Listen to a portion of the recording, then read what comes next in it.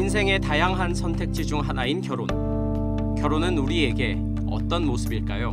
부부 갈등 문제도 있는 것 같고 막 제사 때 뭐 친가는 가는데 외가는 안 가고 약간 그런 문제들도 많이 들어봤던 것 같아요. 결혼하게 되면은 이제 부가적인 이제 지출이 많이 필요할 텐데 아기를 가졌을 때 현실적인 금전적인 문제나 직장 문제 같은 부분들이 요즘에는 고민이 많은 것 같아요.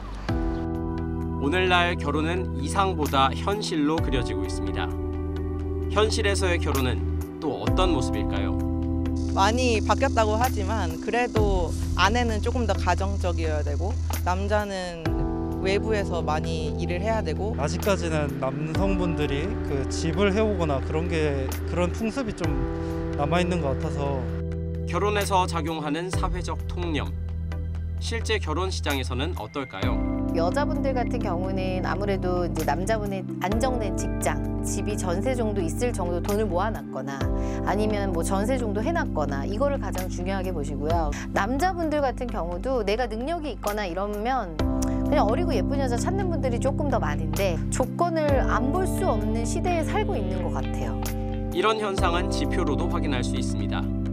결혼 비용 부담률을 보면 남성이 60%, 여성이 40%고 주택 비용 부담률에서도 남성의 부담률이 높게 나타났습니다. 즉 남성에게 더 많은 경제적 책임이 주어지는 게 사실입니다. 반면 가사 분담률에서는 가사를 공평하게 분담해야 한다는 생각은 64.7%지만 실제 가사 분담을 공평하게 한다는 대답은 남녀 모두 20% 선입니다. 즉 생각과는 다르게 실제로는 공평하지 않다는 겁니다.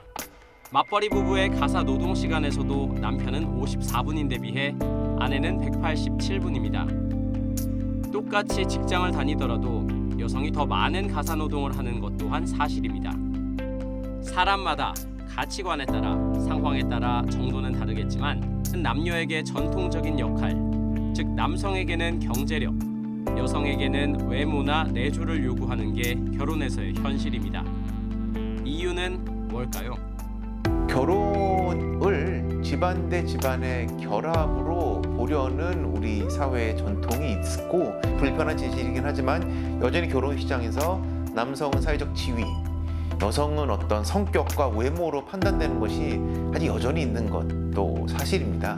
뭐 이러한 인간의 본능 자체를 우리가 무시할 수는 없지만 점차 결혼은 어떤 상대방과 나와의 어떤 자연스러운 결합으로 생각을 하고 어떤 남성과 여성의 역할을 처음부터 사전에 규정해 놓는 관습은 점차 이제 개선돼 나가고 있는 것도 사실이기 때문에 과거와 미래가 공존하고 있는 일종의 전환기가 아닌가 만약에 정말 괜찮은 사람이 있으면 힘든 상황이 있어도 서로 잘 이겨낼 수 있을 것 같아요. 의지할 수 있는 사람이 있다는 거 하나만으로도 굉장히 좋은 의미가 되지 않을까. 음, 뭔가 사회적인 기준이나 이 나이대가 해서 해치운다는 느낌의 결혼보다도 내가 진짜 앞으로 계속 같이 할 사람을 만나서 결혼을 하는 게 제일 최적의 결혼이 아닐까라고 생각합니다. 결혼과 현실을 완전히 분리하는 건 어렵겠지만 그럼에도 결혼은 두 사람이 동등하게 살아가는 것이라고 말할 수 있는 사회가 되길 바랍니다.